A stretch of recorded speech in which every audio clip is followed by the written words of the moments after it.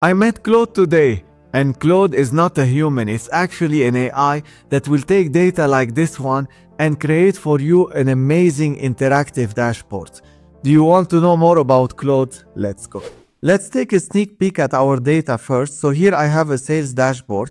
So I have a few rows where we see the region, the country, the item type, whether it's online or offline channel, the order priority, and all the financial metrics such as cost, revenue, and profit.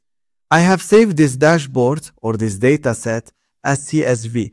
If you don't know how to do it, you just go to File, Save As, and here you select comma delimited or CSV.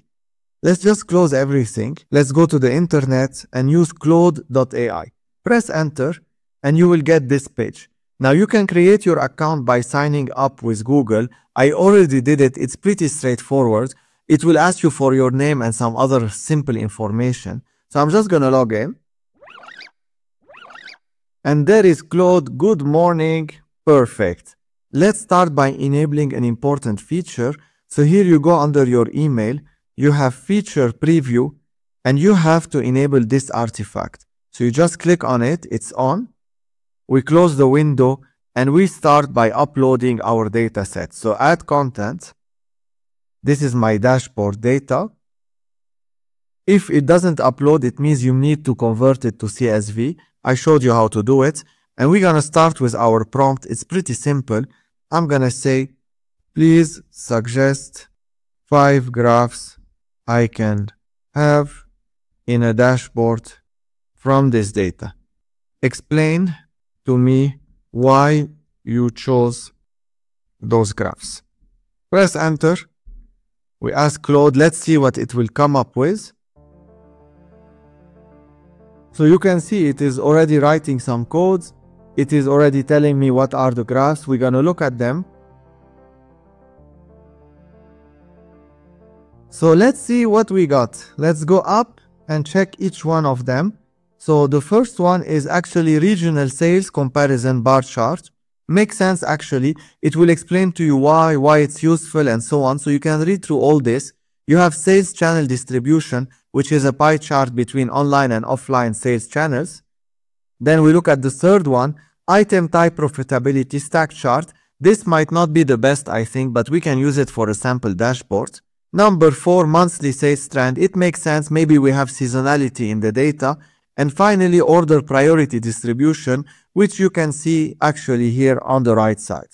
So for each one of them, it has written a code and you can preview it. Now let's assume that I want all those and I want to tell Claude to do my dashboard. So I'm going to say, I want a dashboard with all those graphs.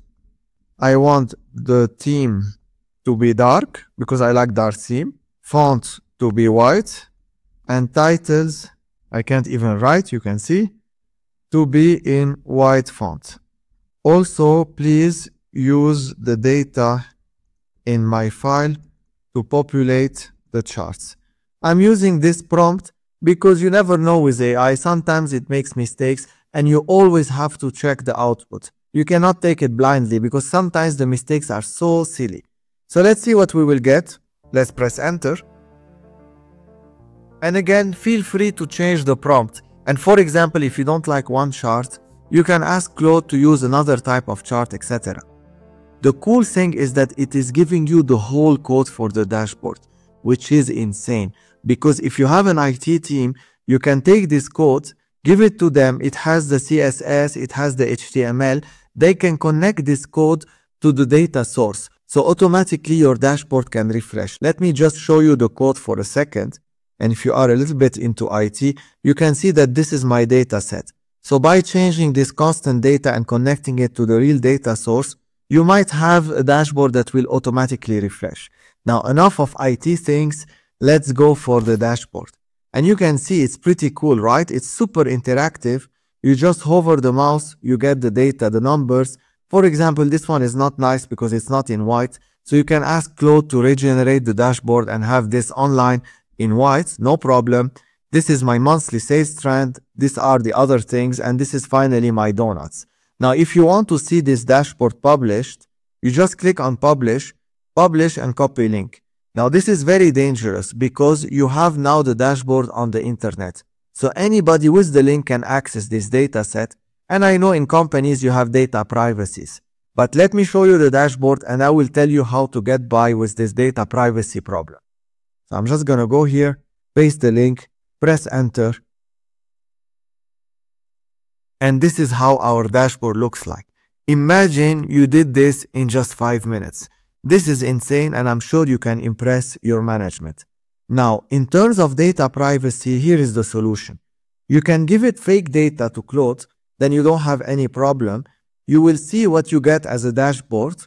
You will get the code for the dashboard and you can take this code internally, replace these constant numbers, for example, and then publish it internally. So you will have the same result. You get the IDs from Claude and you have it within your network, within your cloud, etc.